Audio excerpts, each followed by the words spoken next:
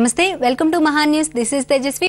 ఇక డీటెయిల్స్లోకి వెళ్తే రెండో ఏడాది కరోనా సమయంలో ఏపీ ప్రభుత్వం అసెంబ్లీలో రెండు వేల ఇరవై ఒకటి ఇరవై రెండు వార్షిక బడ్జెట్ను ప్రవేశపెట్టింది. అనుకున్నట్లుగానే సంక్షేమ బడ్జెట్ను ప్రవేశపెట్టింది. గతేడాది అనుకున్న అంచనాలు తప్పాయి కానీ ఈ ఏడాది భారీగానే బడ్జెట్ అంచనాలు ప్రకటించింది ప్రభుత్వం. సంక్షేమం అమలు బడ్జెట్ పై భారం పెరిగింది. ఇదే సమయంలో అప్పులు భారంగా కూడా పెరుగుతోంది. ప్రభుత్వం భావించినట్లుగా ప్రభుత్వానికి ఆదాయం వస్తే రాష్ట్ర ప్రభుత్వానికి ఊరటగానే చెప్పొచ్చు.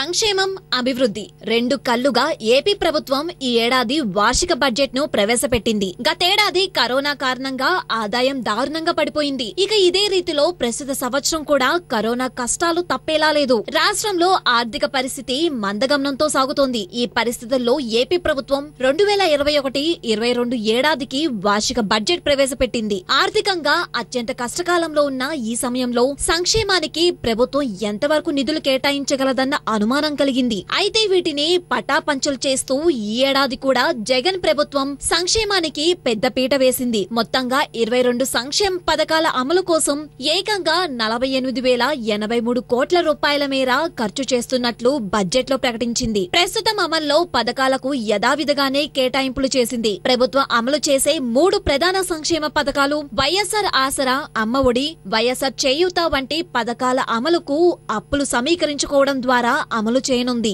ఈ మూడు పథకాల అమలు నిమిత్తం పదహారు వేల ఎనిమిది వందల తొంభై తొమ్మిది కోట్ల రూపాయల మేర ఖర్చు చేయనుంది. అయితే రాష్ట్ర ప్రభుత్వ ఆర్థిక పరిస్థితి ఎలా ఉన్నా తాను ప్రకటించిన సంక్షేమంలో ఎక్కడా జగన్ రాజీ పడడం లేదని బడ్జెట్ కేటాయింపులతో మరోసారి రుజువు చేశారు. డాక్టర్ వైఎస్ఆర్ రైతు భరోసా కేంద్రాలను వ్యవసాయం మరియు ఉద్యానవన పంటల ఉత్పత్తులకు ఉత్పత్తు సేకరణ కేంద్రాలుగా కూడా కూడా మన ప్రభుత్వం ప్రకటించింది. దీని ప్రకారం రెండు వేల ఇరవై ఖరీఫ్ సమయంలో రైతు భరోసా కేంద్రాల స్థాయిలో నాలుగు వేల సేకరణ కేంద్రాలు ప్రారంభించబడ్డాయి.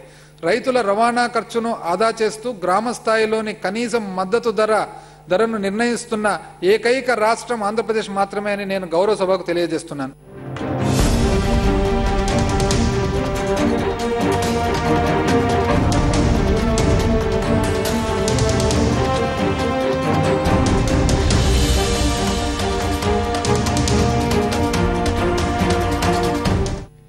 సంక్షేమంతో పాటు అభివృద్ధికి ఈ ఏడాది బడ్జెట్లో ప్రాధాన్యత ఇచ్చారు. రంగాలు వారికి బడ్జెట్లో జరిపిన కేటాయింపులు చూస్తే వ్యవసాయ అనుబంధ రంగాలకు గతేడాది ఐదు పాయింట్ ఏడు ఐదు శాతం కేటాయింపులు జరిపితే ప్రస్తుతం ఐదు పాయింట్ ఎనిమిది ఎనిమిది శాతం మేర కేటాయింపులు జరిపారు. గ్రామీణాభివృద్ధి శాఖకు గతేడాది ఏడు పాయింట్ తొమ్మిది సున్నా శాతం కేటాయింపులు జరిపితే ఈ ఏడాది ఏడు పాయింట్ సున్నా ఆరు శాతం మేర బడ్జెట్లో కేటాయింపులు జరిపింది ప్రభుత్వం. జలవనరుల శాఖకు గత ఆర్థిక సంవత్సరంలో రెండు పాయింట్ ఎనిమిది రెండు రెండు శాతం కేటాయింపులు జరిపితే ప్రస్తుతం ఐదు పాయింట్ ఏడు ఆరు శాతం మేర కేటాయింపులు జరిపింది జగన్ సర్కార్. ఆరోగ్యం వైద్యం మరియు కుటుంబ సంక్షేమం కోసము రెండు వేల ఇరవై ఒకటి ఇరవై రెండు సంవత్సరానికి పదమూడు వేల ఎనిమిది వందల ముప్పై కోట్ల నలభై నాలుగు లక్షల రూపాయల కేటాయింపు నేను ప్రతిపాదిస్తున్నాను.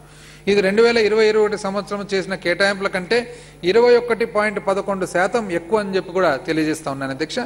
ఈ కేటాయింపులు మూడవ సుస్థిర అభివృద్ధి లక్ష్యమైన ఆరోగ్యకరమైన జీవితాలను నిర్ధారించడం మరియు అందరికీ మంచి ఆరోగ్యాన్ని కల్పించడం సాధించడానికి ఉద్దేశించబడ్డాయి.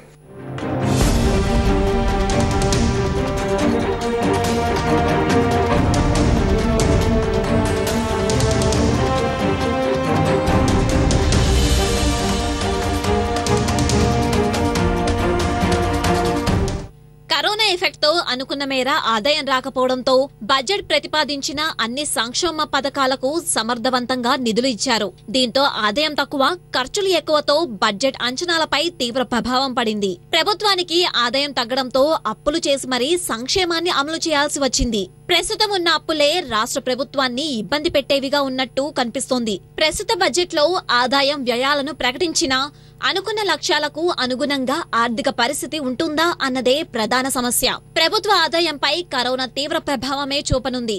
దీంతో గతేడాది ఆదాయం రాబడుల అంచనాలను అందుకోలేకపోయిన పరిస్థితి. గతేడాది రెవెన్యూ రాబడులు ఒకటి పాయింట్ ఆరు ఒకటి లక్షల కోట్ల మేర వస్తాయని అంచనా వేయగా కేవలం ఒకటి పాయింట్ ఒకటి ఎనిమిది లక్షల కోట్లు మాత్రమే రెవెన్యూ రాబడి వచ్చింది. ఇక గతేడాది రుణాలు సహా వివిధ మార్గాల ద్వారా వచ్చే రాబడి విషయానికొచ్చేసరికి అరవై రెండు వేల కోట్ల మేర విధులకు సమకూర్చుకోవాలని అంచనా వేస్తే అరవై ఏడు వేల కోట్ల రూపాయల మేర నిధులను సమీకరించింది. అంటే అంచనా వేసిన దానికంటే ఎక్కువ ఎక్కువగా అప్పులు చేయాల్సిన పరిస్థితి వచ్చిందని ఆర్థిక శాఖ లెక్కలు స్పష్టం చేస్తున్నాయి. ఈ క్రమంలో ప్రస్తుత ఏడాది కూడా అనుకున్న తరహాలో రెవెన్యూ రాబడులు వచ్చే ఆస్కారం అంతంత మాత్రమేననేది ఆర్థిక శాఖ భావన. ఒకటి పాయింట్ ఏడు ఏడు లక్షల కోట్ల రూపాయల మేర ఆదాయం వస్తుందని అంచనా వేసినా గతేడాది అనుభవం మేరకు లక్ష్యాన్ని చేరుకోవడం సాధ్యమా అనేది ఆర్థిక శాఖ వర్గాల అనుమానం. అలాగే అంచనాల కంటే ఎక్కువగా అప్పులు చేయాల్సి వచ్చే పరిస్థితి రావచ్చని అంటున్నారు. ప్రభుత్వం అంచనాల ప్రకారం ఆదాయం రావడంపైనే ప్రత్యేకంగా దృష్టి పెట్టే పరిస్థితి ఉంది.